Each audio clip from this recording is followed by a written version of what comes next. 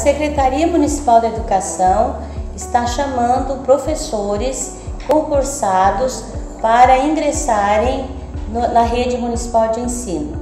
São 44 professores que ocuparão as classes livres do nosso sistema de ensino. Também será chamado um diretor que também ocupará um cargo livre. Nesse período, nós estamos então fazendo essa chamada através do Departamento de Recursos Humanos da Prefeitura Municipal. Faz parte do processo legal que as classes livres que o sistema dispõe para esse ano de 2017 que seja ocupado por professores é, concursados.